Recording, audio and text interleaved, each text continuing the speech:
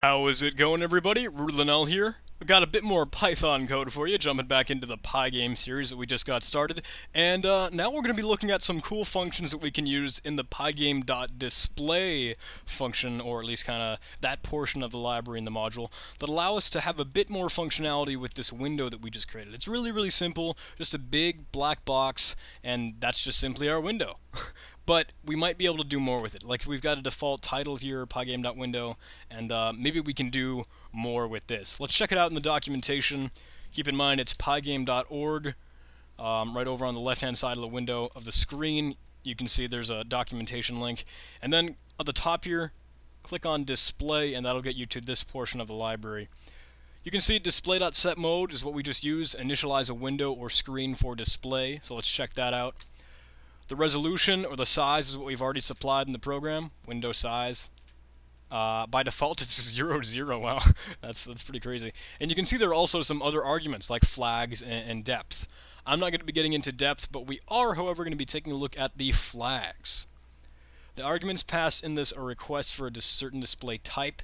The actual created display will be the best possible match supported by the system. So this is all in accordance with your computer and what it's really doing blah blah blah. Resolution talks about the width and height, the size that we just created.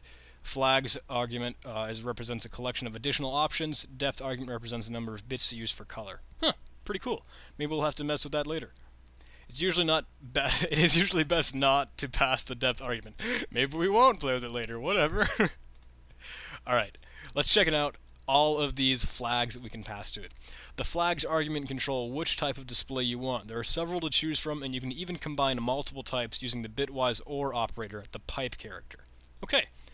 Default, uh, this is optional. I mean, flags can equal zero. All these other things that Pygame makes available for us are just simply options. So let's check it out.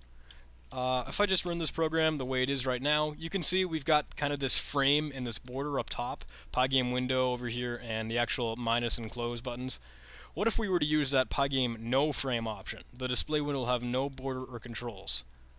Okay, so we use a comma to separate the argument, and then we can say pygame dot no frame. That's what I want. No frame. Okay, run this code. Pygame's a little slow to start up, I know, but right now it's just a black box. We don't have the border or any of the controls. Um, I'm going to hit Alt Space and, and C or Alt F4 to close out this program. That's probably the best way to do it. And uh, let's make that resizable. Remember it said we can use the pipe character to actually go ahead and use multiple flags. So pygame dot resizable. Run this code just to see how it looks.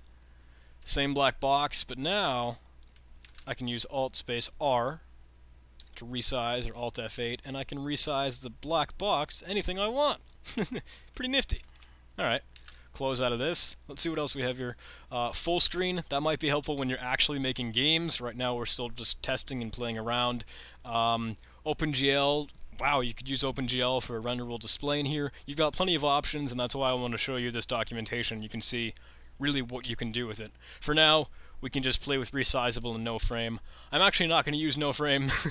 I do want to keep that border, but resizable is good to have. We'll keep that in. And let's see what else we can do with the window.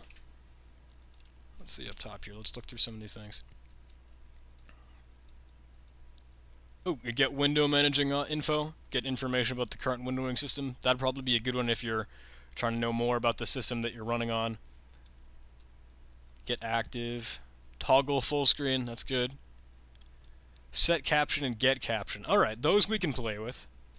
Let's check it out. If we were to print pygame.display.getCaption, keep in mind just using dots, just using the display submodule.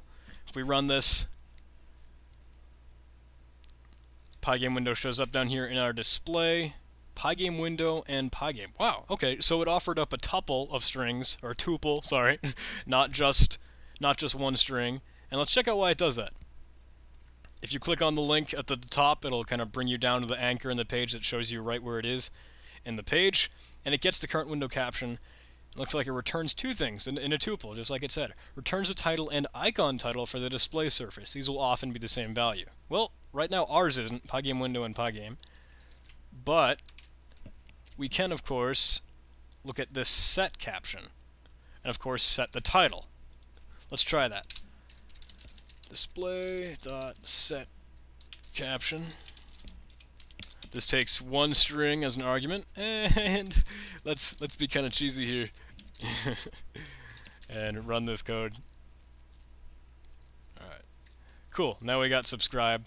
That works here, and of course it's still going to give us Pygame window because the display get caption runs before. What if we went ahead and ran this after we set the caption?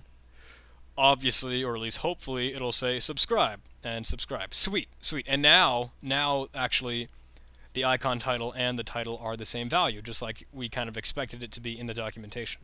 Okay, cool. Very cool. That's all I wanted to show you for this video. Really kind of small, really kind of simple functions that allows you just to do a little bit more with your window. And you can personalize it with a title and a caption to be whatever you want. And that might be helpful when you're actually working in your game. Okay, uh -huh. we're all good, guys. Thanks for watching, and I'll see you in the next tutorial.